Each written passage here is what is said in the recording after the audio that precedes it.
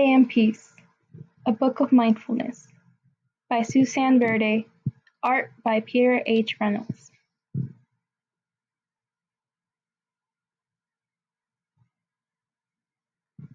There are times when I worry about what might happen next and what happened before.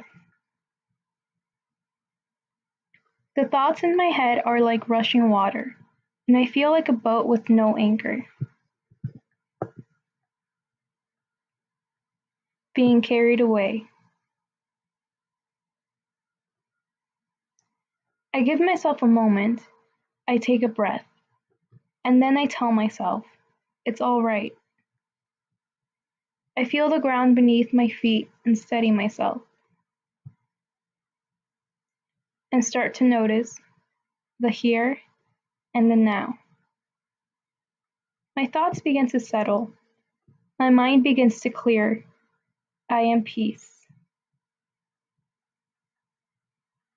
I can watch my worries gently pop and disappear. I let things go. I can say what I feel inside out loud. I know myself.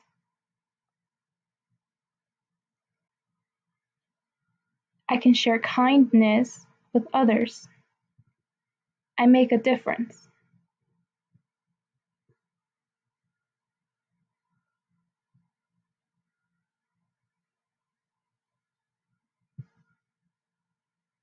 I can hug a tree and thank it for its beauty and strength.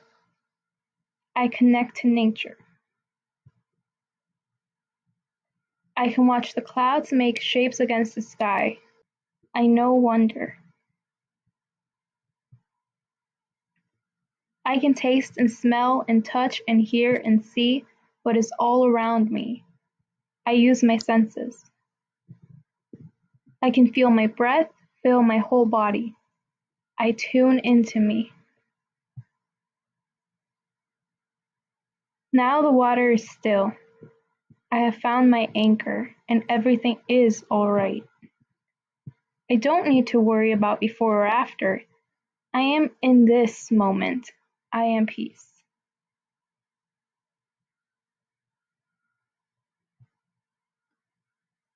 Now I share my peace with others and hope that it is carried away for those who need it. And they dream. We are peace.